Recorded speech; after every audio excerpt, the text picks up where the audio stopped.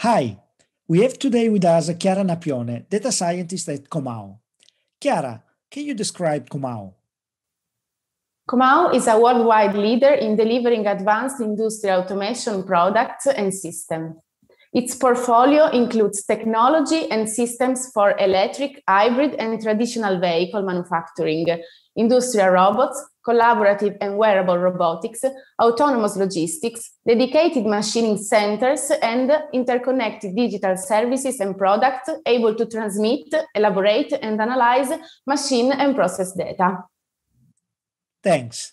What was the objective of your innovative project? Our objective was to monitor machineries, and we were looking for the possibility to deploy machine learning models on embedded devices. This is really useful for various reasons, like the possibility to extract meaningful information from data that would otherwise be inaccessible due to bandwidth constraints, or avoid the cost of transmission data over a network, the cost of storage and processing in the cloud, or also avoid the risk of lack of connection that results in loss of data.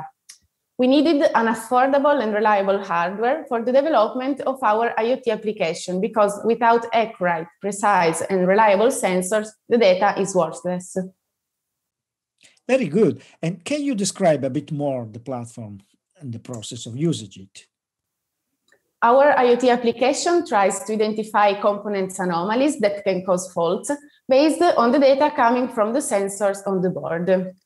In a first phase, data acquired from the board are sent to an edge node and then to the platform on the cloud. Here, a machine learning model is trained, and then it is downloaded and embedded in the board, which runs the evaluation phase. The Arduino acquires data from the inertial sensors, and it executes the model thanks to the tiny ML library. Besides, it can transmit information via BLE, Wi-Fi, or GSM, and last, but still very important, we can update the firmware over the air in a secure mode. Why you choose Arduino? Which product of Arduino you choose? We are currently using the Nano 33 BLE sensor. This is equipped with uh, various embedded sensors like uh, a nine-axis uh, IMU, the temperature and humidity sensor, the microphone, the gesture recognition, and so on. We choose it because uh, it has a more powerful processor and a reduced dimension.